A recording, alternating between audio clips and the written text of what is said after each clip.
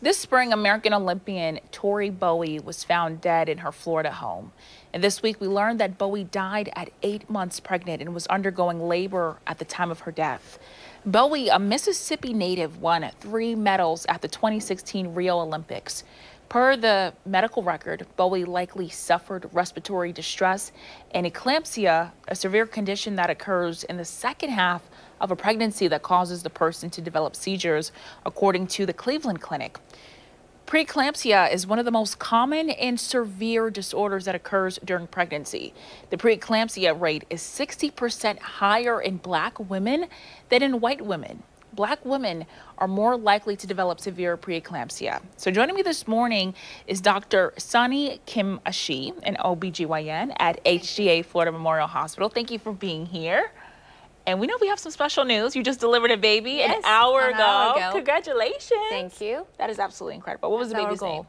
Sammy. Okay, we're going to show some pictures of Sammy before we get to that. I think we have some here. Oh, there's little Sammy, an hour old. This is just absolutely incredible. Shows the great work that you do. That's our goal, to have a healthy mom, healthy baby. Yes. I love that so much.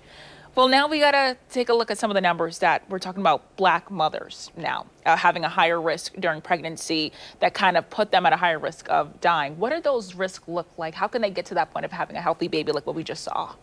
And actually, this is a good wake up call for attracting the awareness of a black mother's uh, health care. Um, so I think it's all related to the social economical factors and very, very unconscious bias. So study shows the black mothers' complaints are less heard and less taken seriously, less chance to see the high-risk doctors and the uh, see the top-notch doctors at the, uh, the good medical settings. Yes, so. And when you say uh, black mothers' uh, concerns are less heard, can you give an example of what that would look like? Yes. So we always give the patients the, the warning signs, like whenever you have a headache or chest pain, palpitation, and then kind of brushed off. That's the, what the study shows.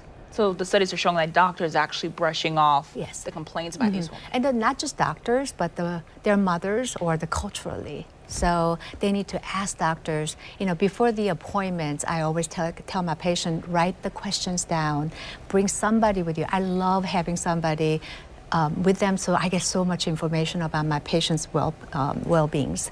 And if you don't feel like you're heard well, then you need to ask for the other providers.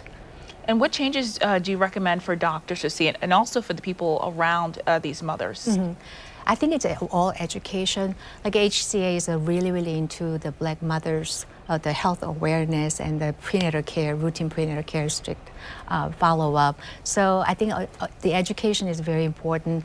I educate my medical student residents about this, um, the, the social bias together and my staff too when they answer the phone calls from the patients when they say headache and they just bring it to me immediately instead of uh, waiting for one, one day or two days later.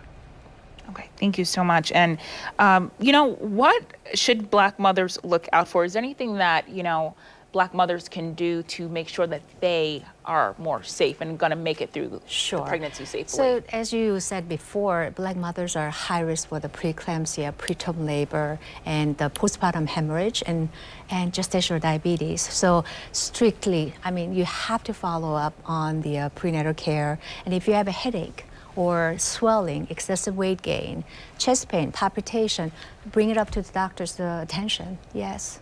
This is such an important topic. Thank you so much, doctor, for joining us and talking about this. I know this is going to help so many women who are out there. Yes.